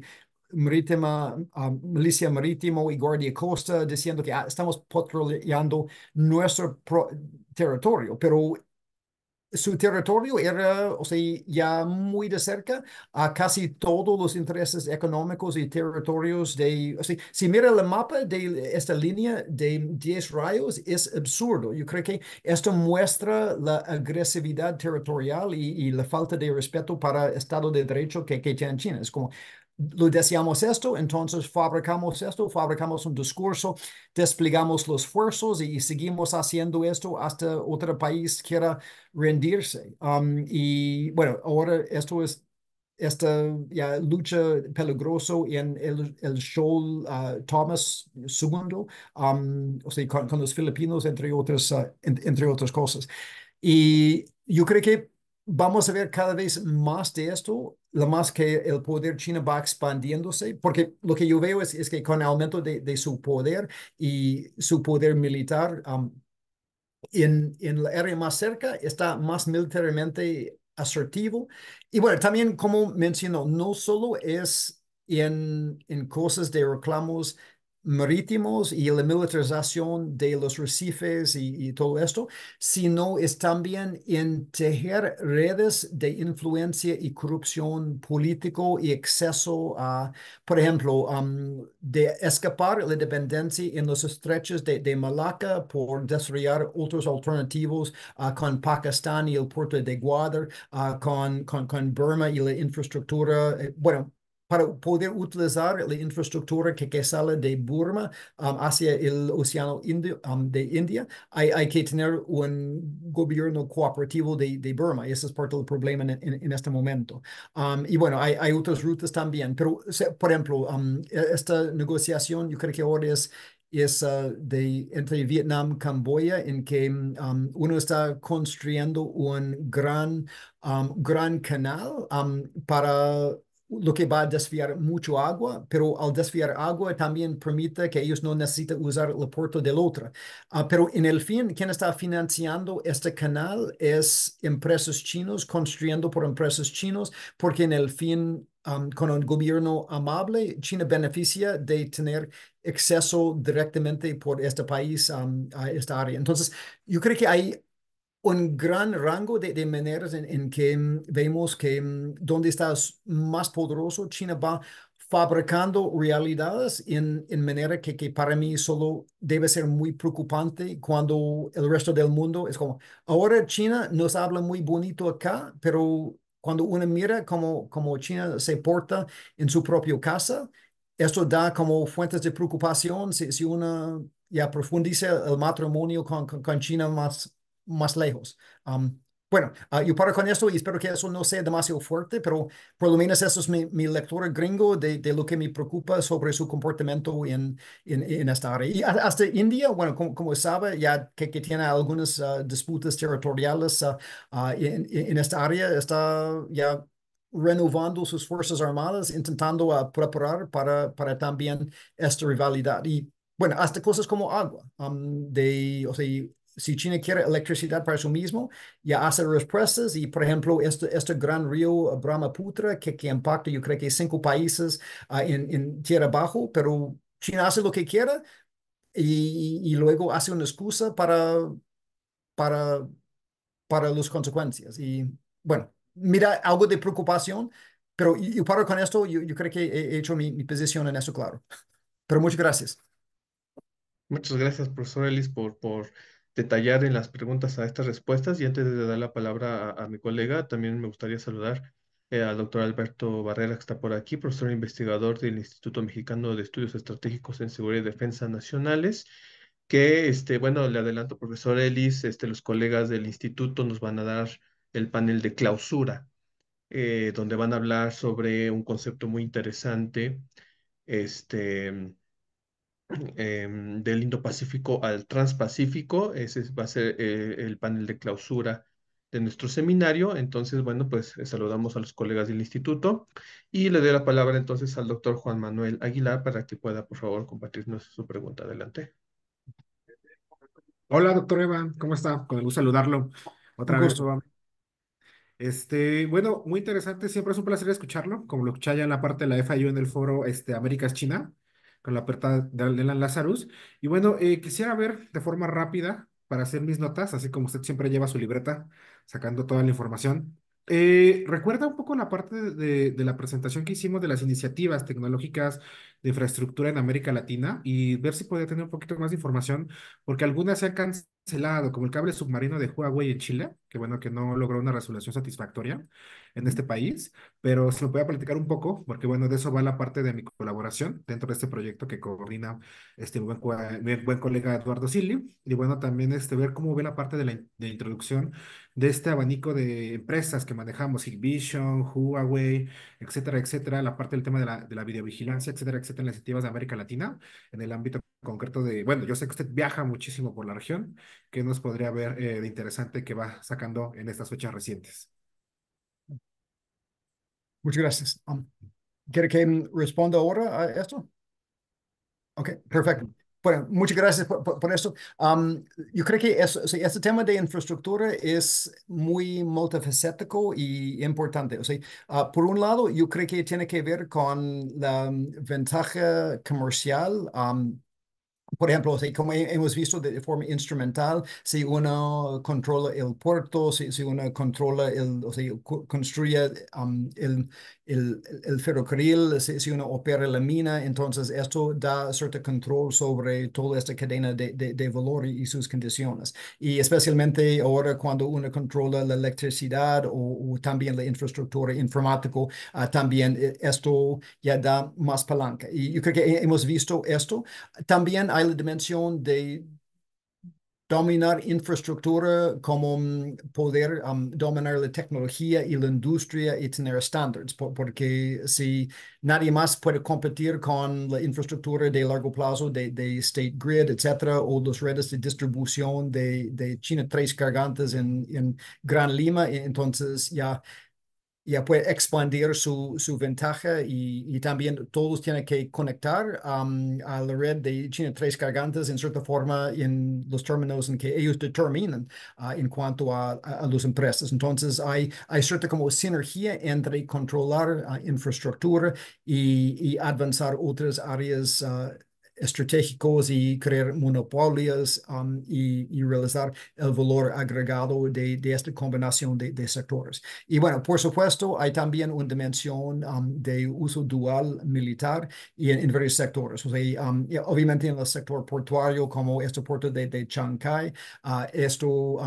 el peligro, igual como pasó en, en, Sri Lanka, es si hay un gobierno débil durante tiempo de, guerra, si el operador Costco quiere permitir que uh, buques de Ejército Popular de Liberación quieren meterse allá, entonces muy complicado de, de, de, decir no sin aplicar fuerza. Um, pero eso crea la posibilidad desde perspectiva del Comando Sur um, de, de, de, buques militares chinos reabasteciéndose ya y, y con la posibilidad de proyectar amenazas contra los Estados Unidos desde el Pacífico Oriental. Um, y bueno, um, también en, otras áreas en que solo la operación de, uh,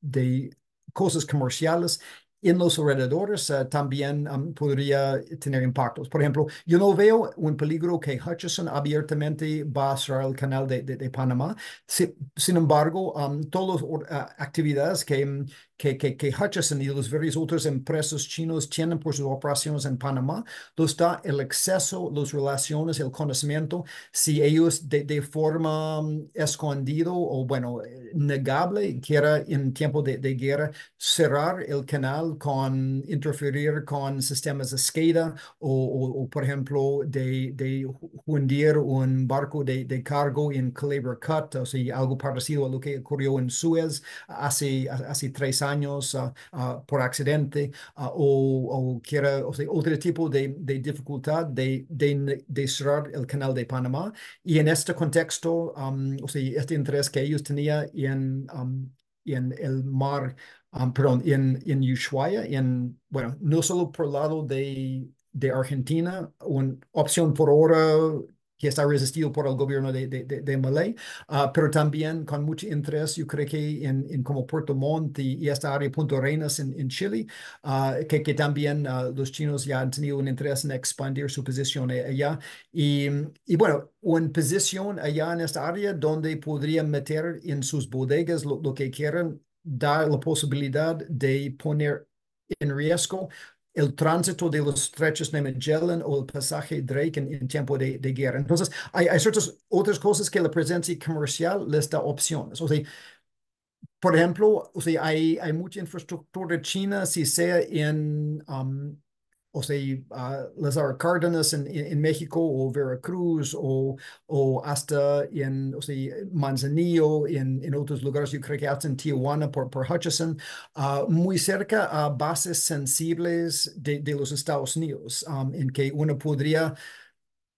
mantener de, de, forma secreta un equipo de operadores especiales para observar o hacer otras cosas en, en tiempo de guerra. Entonces, hay como esta dimensión de, mm, de cosas en tiempo de, de, guerra y, por supuesto, la infraestructura espacial, si sea la estación de espacio lejano en, en Neuquén o este radiotelescopio CART en, en, en, San Juan o otros proyectos de uh, cosas en Ushuaia o en Chile, en, en, Colina Cailán. Um, bueno, hay, hay una lista enorme, pero la posibilidad de utilizar esto, de identificar satélites nuestros uh, para ponerlos en blanco uh, con armas antisatélites en otros lados del mundo, o también si, si lanza un, un tipo de, mm, de, arma orbital, uh, de, de, lanzar un vehículo uh, hipersónico contra blancos en los Estados Unidos, la posibilidad de, de tener acceso a telemetría en, por ejemplo, desde Argentina, de dar instrucciones y coordinación para facilitar este vector de, de, de ataque, tiene ciertos uh, valor estratégico. Entonces hay, hay ese tipo de cosas. Pero Incluso antes de guerra también hay otra preocupación, lo que es solo um, poner en riesgo la habilidad del gobierno de, de mantener decisiones soberanos um, y, hasta industrias de proteger sus secretos. muchas personas saben, en muchas empresas, yo he hablado de personas desde Embraer hasta otras, uh, y ellos entienden que no deben pensar en ubicar su propiedad intelectual uh, o sea, clave en China porque entiende muy bien que China lo busca robar y, quitarlo y darlo a su propia empresa para ganarlo en el mercado, si sea en paneles solares o cosas eólicos o, aviones, etc. Pero a veces ellos no piensan la vulnerabilidad en su propiedad intelectual en operar en un país como México o un país eh, como Colombia, etc., donde la infraestructura Uh, en, que ellos envíen sus datos es de Huawei o en que um, donde pone su, su, sus datos de, es de, de Huawei Cloud Services o, o donde sus ejecutivos ya tienen reuniones sensibles uh, y toman carros Didi. Uh, y, y quién controlan o sea, los datos de, de quién va a dónde, cuándo. O, o cuando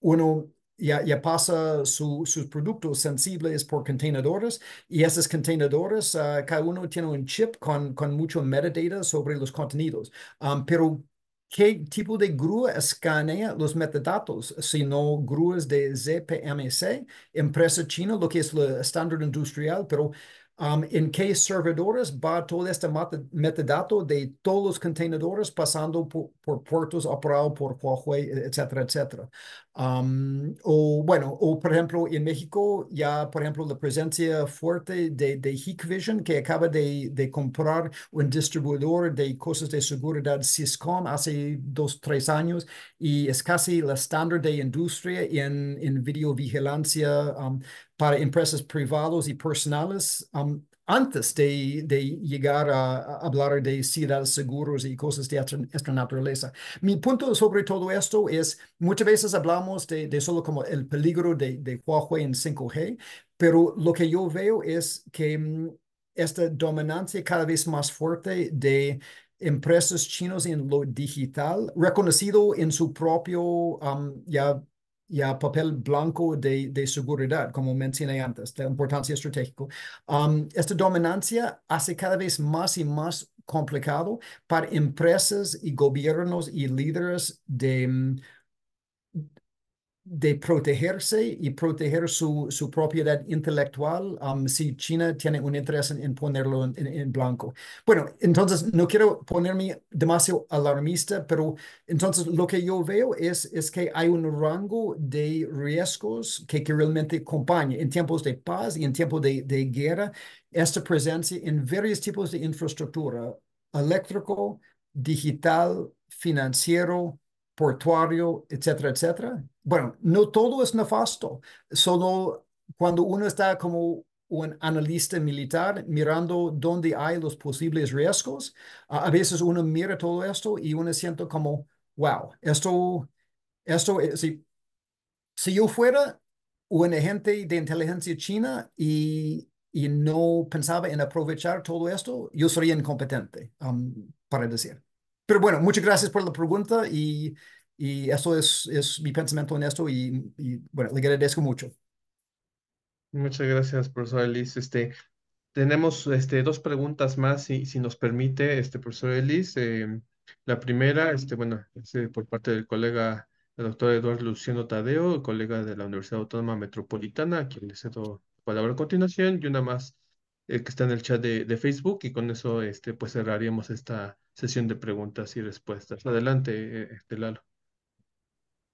Eh, bueno, pues muchas gracias por la oportunidad de, de conversar, eh, profesor Evan. Yo tengo una pregunta muy, muy particular eh, y también debo decir surge de los intereses de investigación que yo tengo y la forma, ¿no? en que estudio las relaciones internacionales. pero me pregunto si la cultura en particular tiene un valor estratégico para China. O sea, en esta discusión digamos, de las visiones estratégicas de China para América Latina u otras regiones, queda muy claro, ¿no? Que hay una agenda como tecnológica, este, político-económica, muy claramente identificada, pero me pregunto si la cultura tiene algún papel estratégico. Eso sería todo. Muchas gracias. Le agradezco esto yo creo que la, la respuesta es definitivamente sí, um, pero también es, es, es, es complicado. Um, para mí es interesante en ver, o sea, ya dentro de lo que yo entiendo es el pensamiento chino, um, del poder transformador de, de su poder. Si, si piensa, piensa, en la manera en, que yo entiendo se representa la historia de, de China y las dinastías, por ejemplo, la manera en que aunque militarmente conquistado por los mongoles. Um, en, en, el fin, la cultura china ya transformó los ocupadores mongoles hasta otro emperador, o sea, imperio, dinastía chino, en cierta forma. Bueno, y hay, hay varios otros uh, elementos de, de, esto y todos los ritos asociados con acceso a ciudad prohibido. O sea, esta idea que al ver la gran grandeza de la cultura china que um, los rivales, los, uh, los uh, guerreros bárbaros uh, iban a, a, a, a, atrever a, oponer um, China, solo iban a, ver la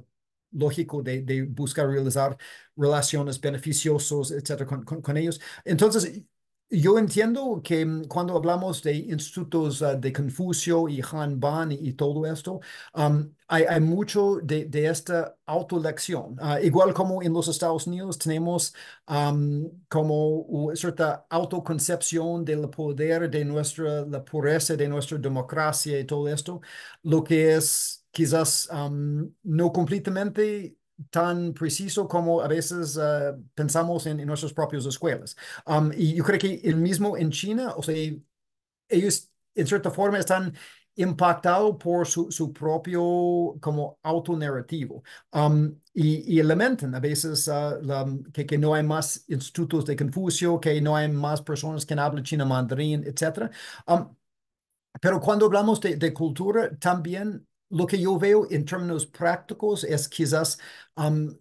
la palanca más fuerte que ellos tienen no es tanto la cultura en sí, o sea, hay, hay una cantidad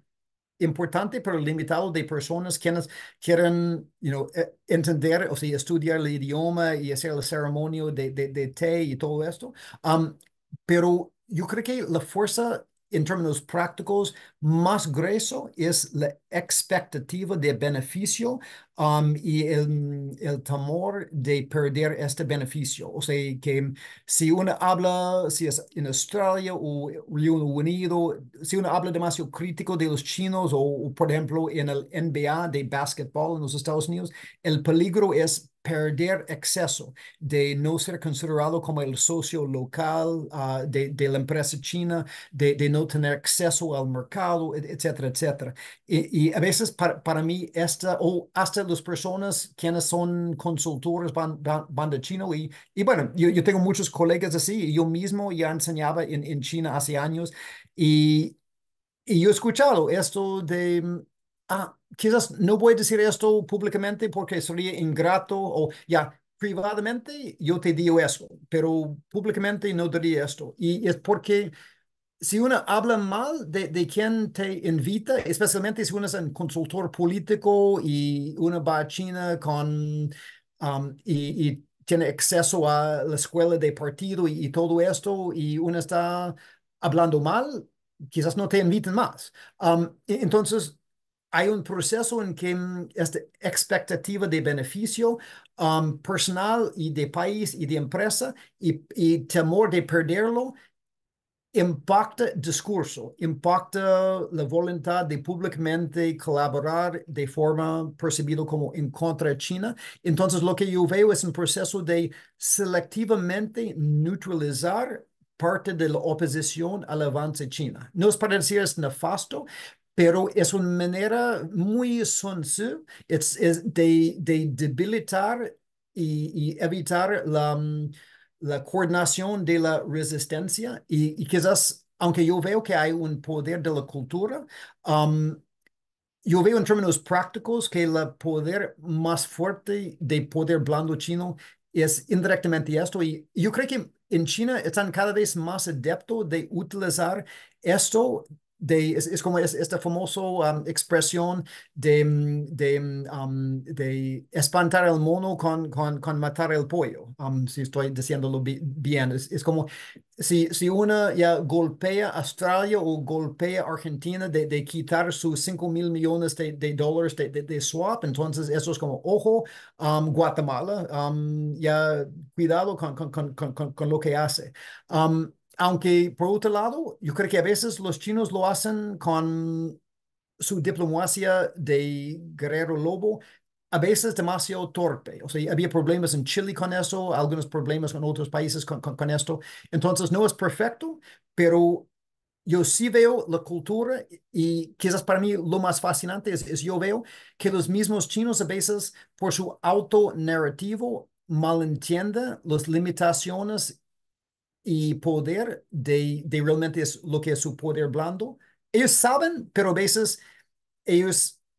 no saben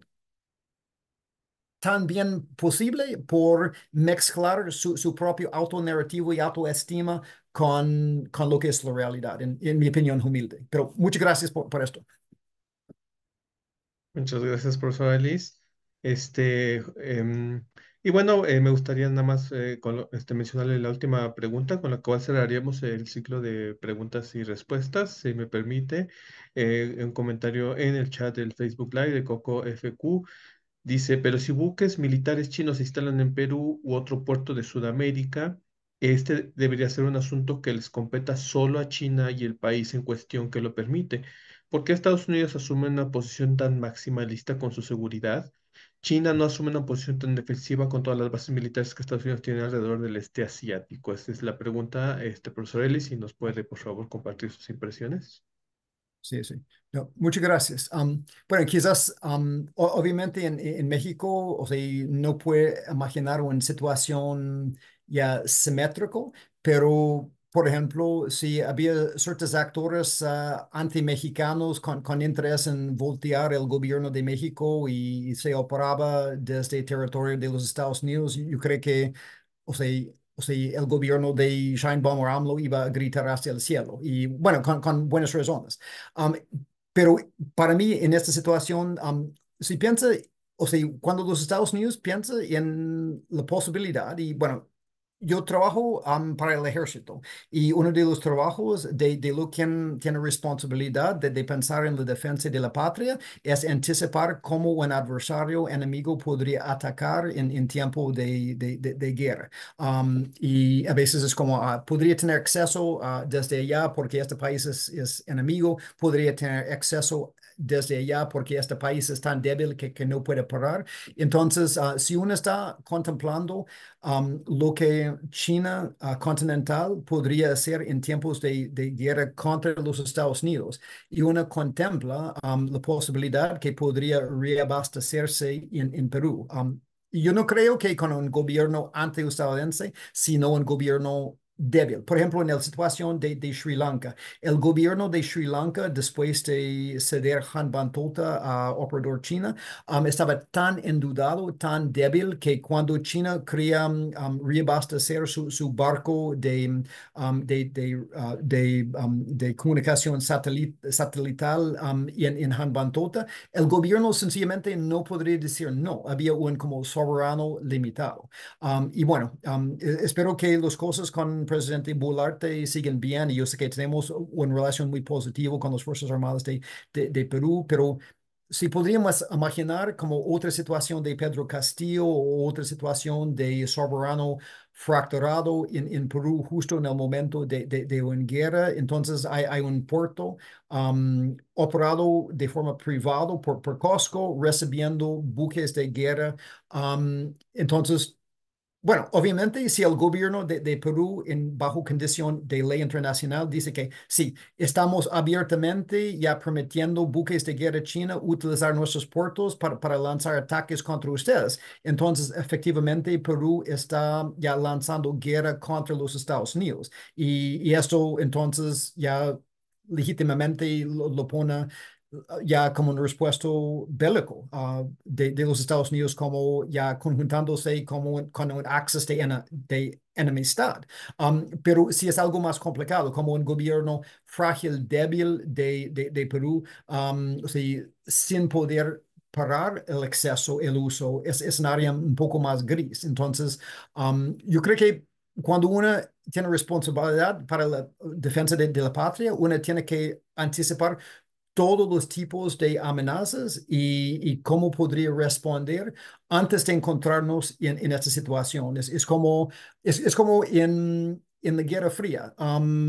Cuando la Unión Soviética quería desplegar misiles nucleares en, en Cuba. Um, uno podría decir, ah, eso es, es, una decisión entre Cuba y la Unión Soviética, pero para los, para los Estados Unidos la idea de, de tener um, misiles nucleares con cinco minutos de aviso um, de, de, tierra estadounidense en, en, en, Cuba fue estratégicamente inaceptable y, y entonces uh, había una respuesta. Entonces,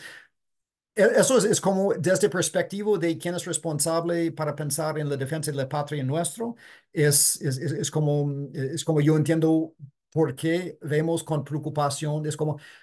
¿tiene derecho de hacer algo soberano? Sí, pero si toman decisión soberano que, que podría resultar en en ataque bélico físico matando millones de personas en los Estados Unidos, um, son también responsables para esta decisión?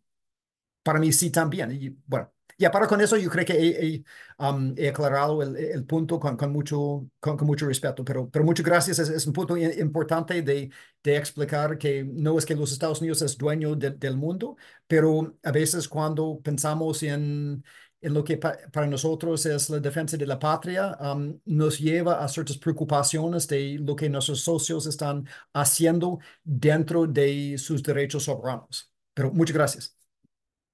Muchas gracias, profesor Nelly, sin duda. Este, eh, le agradecemos bastante por todo esto que nos ha compartido, muy, muy interesante, muy ilustrativo, y sobre todo le agradecemos el esfuerzo de que lo diga en español, porque, bueno, sabemos que no es su lengua este, materna, nativa, pero este, me parece que, que, que hemos podido apreciar de una mejor manera todos sus pensamientos, todos sus enfoques